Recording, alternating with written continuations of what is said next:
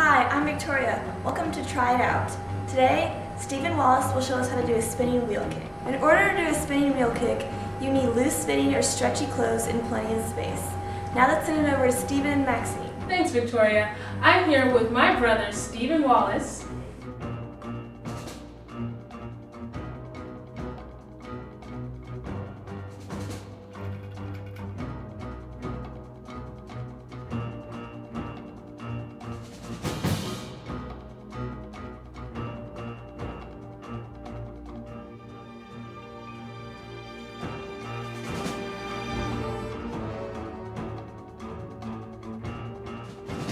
And he's going to show us how to do a spinning wheel kick. So, Stephen, what is the first step?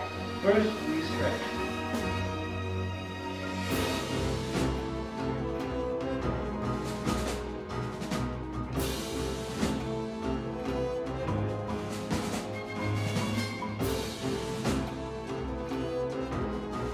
Next, we do the triangles.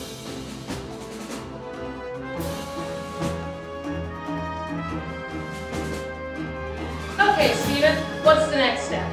First, you use your balance points. Make sure it's solid. Alright, what's the next step? First, then we pivot. Okay, I've pivoted. What's the next step? You want to extend your leg. This move, next move is going to be extra tricky. Okay. You have to start to pick it up. Not, not an instant. Now that we've extended our leg, you want to pick up your, you want to pick up your leg higher and then do the kicking motion. Which is the hook. Knowing that, a little bit of practice and determination, you'll get it right.